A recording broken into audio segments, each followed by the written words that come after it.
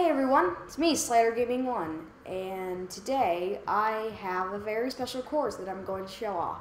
So I made this one myself, and it is Coconut Mall from Mario Kart Wii. I did it in the Super Mario 3D World style, and in this you get to drive the Koopa Troopa cars. So I'll probably explain this.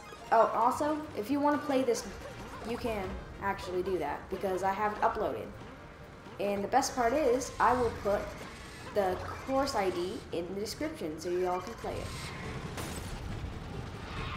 Okay, so let me just destroy this card so I can get a perfect one. And as you notice, it plays the Nintendo GameCube music, which is the Delfino Plaza, for reasons of this is original Coconut Mall is actually based off of Delfino Plaza, so that's why I had this.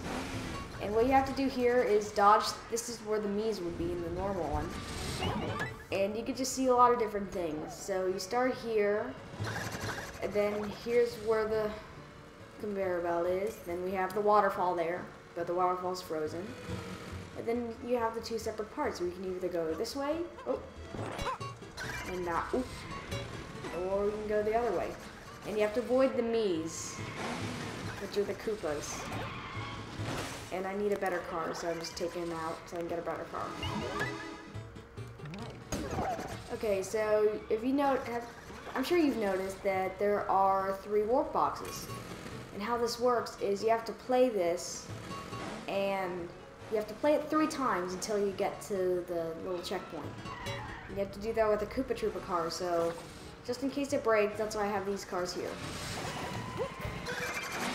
You get nay Oh, also you can honk the horn and have some sick air horn music. There. Done. So then you get immediately a 1 -0. So that's good. And I hope you guys enjoyed this. And I will put the course ID in the description, and I'll see you all in the next video.